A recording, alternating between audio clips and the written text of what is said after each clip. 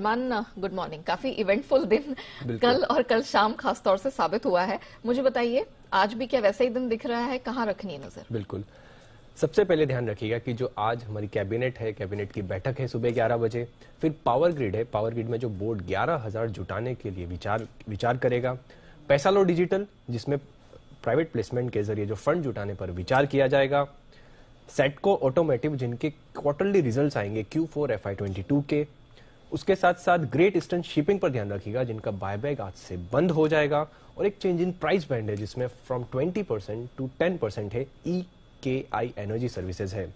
अब खबरों पे और अपडेट्स पर, जिसमें बजाज फाइनेंस जिनका Q one FY twenty three का अपडेट आता हुआ दिखा है, उनके डिपॉजिट्स जो हैं, वो लगभग 22 परसेंट बढ़कर आते हुए दिखे हैं। वहीं अगर आप एयूएम की बात करेंगे एयूएम लगभग 31 परसेंट बढ़कर आता हुआ दिखा है।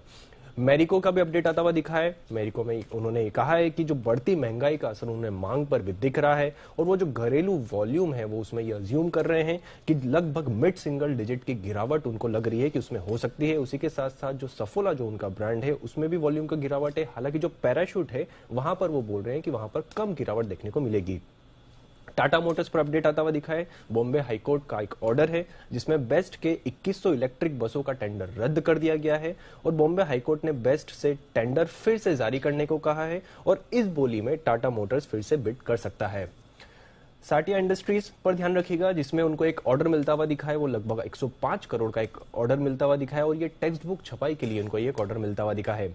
बायोकॉन लिमिटेड जिसमें बेंगलुरु में नई बायोलॉजिक मैन्युफैक्चरिंग फैसिलिटी को ईयू जीएमपी एक सर्टिफिकेशन है, वो इनको मिल चुका है। तेजस नेटवर्क जिसमें संख्या लैब्स के लगभग इन्होंने 61 लाख शेयर्स जो हैं, वो लगभग 276 करोड़ में खरीदे हैं।